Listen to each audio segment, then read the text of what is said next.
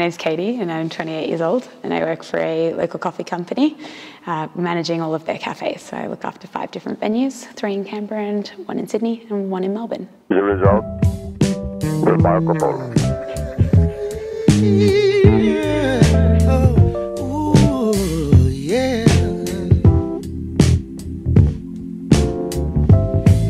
I said, wait for the moment.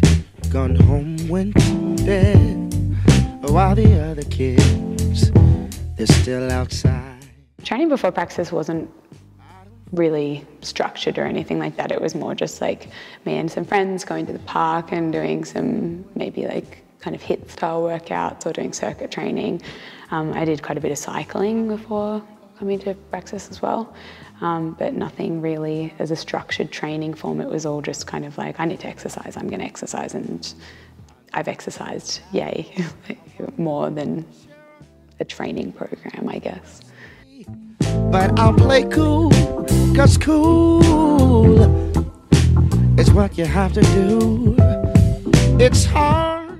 And then I came to one of the free weeks um, and yeah, initially fell in love with the handstand work, and then from there, the movement kind of stuff was really where I my passion kind of lay.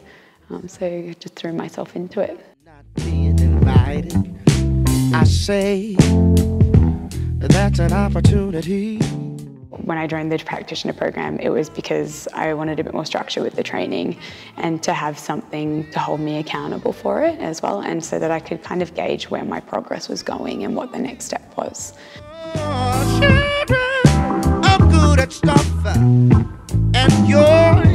I'm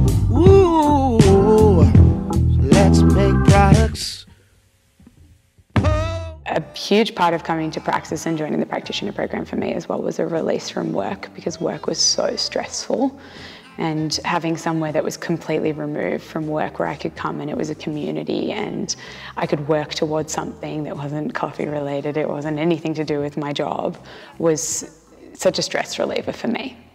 And it was, it was a really beautiful experience having that movement and the, the community here to remove myself from work.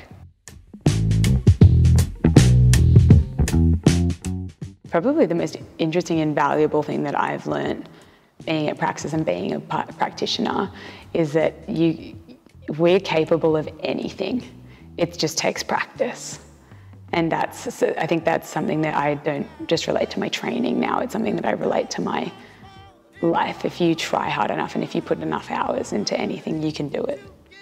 And that's been a really wonderful revelation for me, just as a person and not just as a mover. let's make products. Oh, yeah, I'm a product kind of guy. The community is definitely my favourite thing about Praksis. Everyone's so supportive here. It's so nice. And I think I, I'm not living in Canberra anymore and doing the remote coaching, and it's the biggest thing that I miss.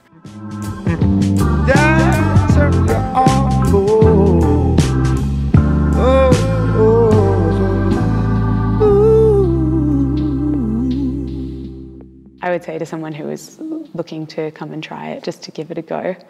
Um, they're not going to regret it. You're never going to regret coming here.